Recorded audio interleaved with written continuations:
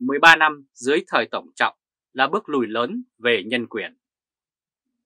Trong những ngày chờ quốc tang của Tổng Bí Thư, chính quyền của Việt Nam đã xử phạt hàng loạt những cá nhân sử dụng mạng xã hội để đăng tải những nội dung bị cho là xuyên tạc, phù khống, xúc phạm danh dự, nhân phẩm của ông Tổng Bí Thư Nguyễn Phú Trọng.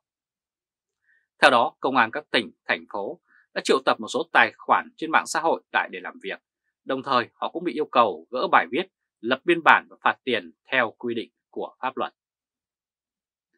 Đây là một trong những biểu hiện bóp nghẹt quyền tự do ngôn luận, tự do biểu đạt của công dân Việt Nam. Những việc như thế đã trở thành bình thường trong thể chế chính trị độc đoán dưới thời ông Trọng. Cách đây hơn 10 năm, vào 26 tháng 2 năm 2013, nhà báo Nguyễn Đắc Kiên, phóng viên báo Gia đình và Xã hội đã có bài viết dưới dạng thư ngỏ vài lời với Tổng bí thư Đảng Cộng sản Việt Nam Nguyễn Phú Trọng đã từng gây chấn động dư luận. Khi đó, nhà báo Nguyễn Đắc Kiên đã chỉ trích ông Trọng mạnh mẽ nhưng cũng chỉ bị xử lý kỷ luật với hình thức sa thải ngay lập tức, không cho tiếp tục vai trò phóng viên trong hệ thống báo chí của nhà nước. Trong 10 năm trở lại đây, chính quyền của Việt Nam đã sử dụng các điều luật rất mơ hồ cho Bộ Luật Hình sự năm 2015 để mà bịt miệng những người có ý kiến trái chiều, không tuân theo lề phải của truyền thông của nhà nước. Chẳng hạn, Điều 117 quy định về tội tàng trữ, phát tán hoặc tuyên truyền thông tin, tài liệu, vật phẩm nhằm chống nhà nước Cộng hòa xã chủ nghĩa Việt Nam. Điều 331 về tội lợi dụng các quyền tự do dân chủ, xâm phạm lợi ích của nhà nước, quyền lợi ích hợp pháp của các tổ chức cá nhân. Từ đó cho thấy quyền tự do của công dân dù trong hiến pháp của Việt Nam không được nhà nước tôn trọng, trái ngược với thời kỳ ông Nguyễn Tân Dũng làm thủ tướng.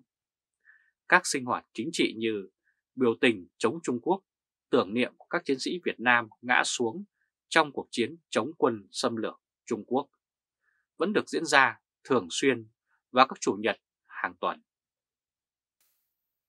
Sau Đại hội Đảng 12, Tổng Trọng đã thành công loại bỏ Thủ tướng Nguyễn Tân Dũng, đồng thời Tô Lâm lên nắm giữ chức Bộ trưởng Bộ Công an.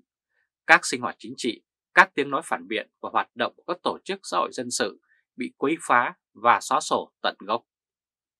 Theo giới phân tích quốc tế, mục đích của sự triệt phá này là để sử dụng độc quyền, quyền lực của Đảng Cộng sản Việt Nam vững chắc hơn. Tổng trọng và lãnh đạo Đảng đã gia tăng đàn áp các nhà hoạt động dân chủ nhằm giật tới tiếng nói phản biện. Đây là điều phổ biến ở các quốc gia độc tài như Bắc Triều Tiên, Trung Quốc, Việt Nam. Chính quyền luôn sử dụng lực lượng công an và quân đội để đảm bảo sự độc tôn quyền lực của họ. Việc nhà nước phải chi rất nhiều tiền cho bộ máy công an và quân đội nhằm duy trì sự tồn vong của chế độ. Con số chi tiêu ngân sách trong ngành công an và quân đội trong những năm gần đây đã cho thấy rất rõ điều đó.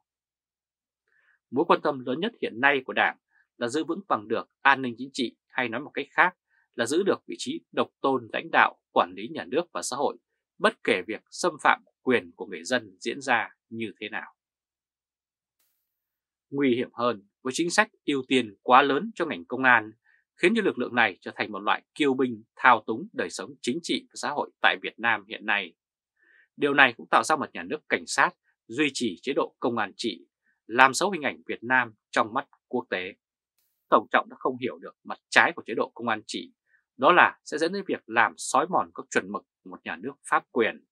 Với chế độ công an trị, Đảng Cộng sản tạo ra một nhà nước bất chấp luật pháp. Quyền lực đi ra từ họng súng và thuộc về kẻ mạnh, bất kể đúng hay sai.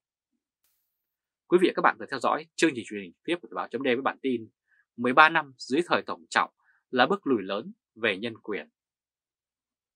Quý vị và các bạn hãy chia sẻ video này cho nhiều người biết và bấm nút theo dõi YouTube và Facebook của Thời báo chấm để luôn được cập nhật những bản tin mới nhất, nhanh nhất và trung thực nhất. Từ Berlin, Cộng hòa Liên bang Đức chào các bạn và hẹn gặp lại các bạn ở bản tin lần tới.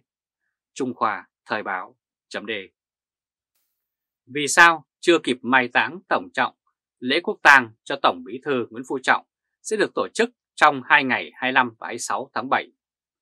Theo kế hoạch, lễ viếng và lễ truy điệu sẽ tổ chức vào ngày 25 tháng 7. Sau đó, lễ an táng Tổng Bí thư Nguyễn Phú Trọng sẽ diễn ra tại Nghĩa Trang Mai Dịch vào chiều ngày 26 tháng 7. Như vậy, theo nguyện vọng của bà Ngô Thị Mận và gia đình, đưa thi hài của ông Tổng Bí thư Nguyễn Phú Trọng về quê nhà tại xã Đông Hội, huyện Đông Anh để chôn cất đã không thành hiện thực. cũng như mong muốn cuối đời của ông Trọng được về quê yên nghỉ cũng đã không thành. Điều đó cho thấy dường như Tổng Bí thư Nguyễn Phú Trọng đã chịu thiệt thòi hơn các lãnh đạo cấp cao khác của Đảng, như Cố Chủ tịch nước Trần Đại Quang hay trước đó là Đại tướng Võ Nguyên Giáp. Những người này đã được chôn cất ở quê nhà với những khu mộ hoành tráng lên tới hàng chục hecta đất của nhà nước. Đó là lý do công luận đặt câu hỏi tại sao Tổng Trọng là nhân vật có quyền lực được đánh giá là chỉ sau Chủ tịch Hồ Chí Minh hay cố Tổng bí thư Lê Duẩn lại bị các đàn em trong đảng đối xử cạn tàu, giáo máng đến như thế. Một nguồn tin nội bộ cho Thời báo chấm biết Bộ Chính trị đã họp bàn bạc với gia đình ông Trọng và đưa ra yêu cầu kể trên nhưng cuối cùng bà Ngô Thị Mận cùng gia đình đành phải chấp nhận trong miễn cưỡng. Có hai lý do khiến Bộ Chính trị phải thống nhất yêu cầu với gia đình của Tổng Bí Thư đổi ý khi đưa thi hài ông Trọng về an táng tại Nghĩa Trang Mai Dịch. Lý do thứ nhất, theo nhà báo Quốc Anh tiết lộ, sau cái chết của các ông Trần Đại Quang, Đỗ Mười, Lê Đức Anh và trước đó là Võ Nguyên Giáp, dư luận đang dâm gian về việc xây dựng mồ mả tốn kém tiền bạc, đất đai của địa phương, chẳng khác gì các quan lại thời phong kiến, và Tổng Trọng muốn chấn chỉnh việc này.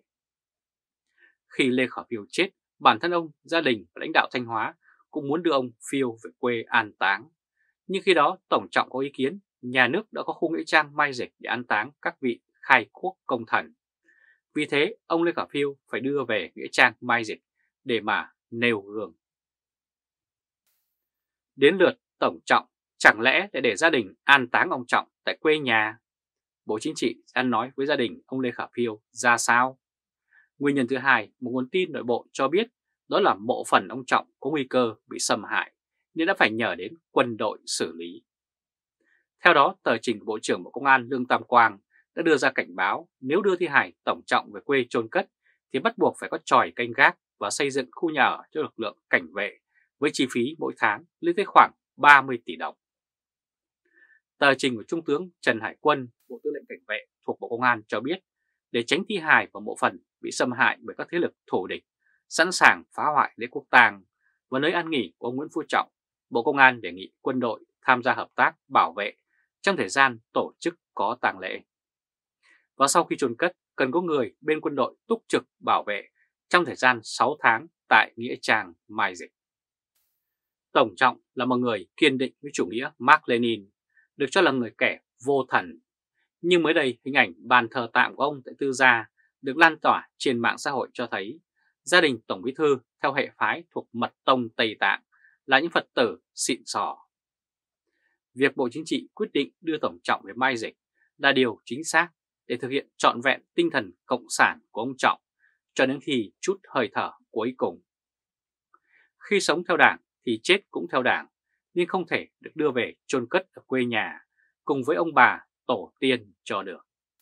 Quý vị các bạn vừa theo dõi chương trình truyền hình tiếp của Thời báo chấm với bản tin Vì sao chưa kịp mai táng tổng trọng.